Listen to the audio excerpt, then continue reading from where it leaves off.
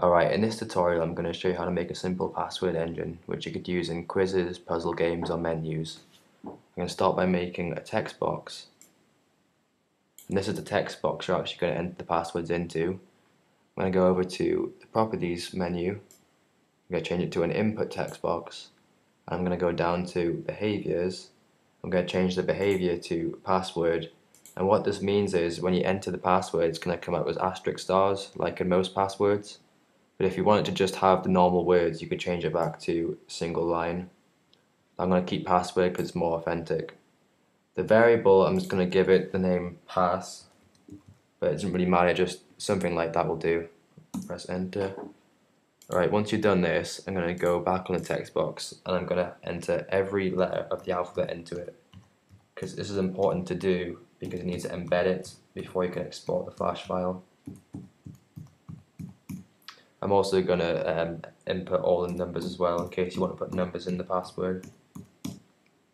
Right, once you've done that, you go over to embed, press all and OK. Now once they're, they're entered, you can just delete them. I'm just going to make this, yeah, there we go. Now what I recommend to do now is make a rectangle behind this text box because when this is exported that text box will be invisible so you need something to show where the actual text box is. Right. Now I'm to go over and make a password input button to press once you've input the, the letters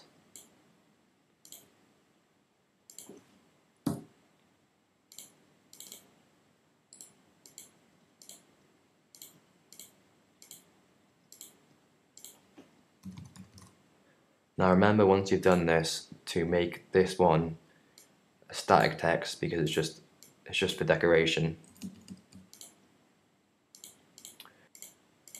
Once you've made the button, click on it and this is the code you want to write into the action script box.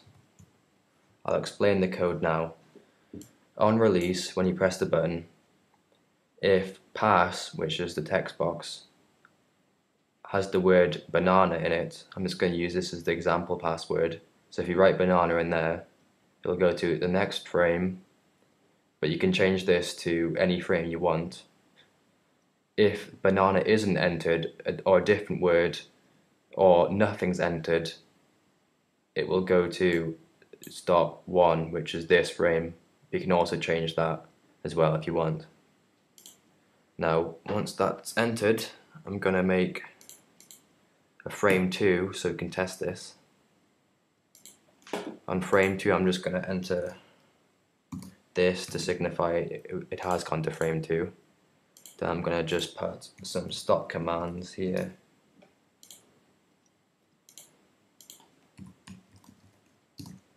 And now it should be ready to test.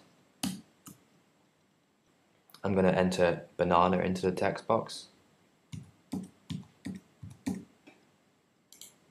And it's gone to frame 2 which shows that it's worked.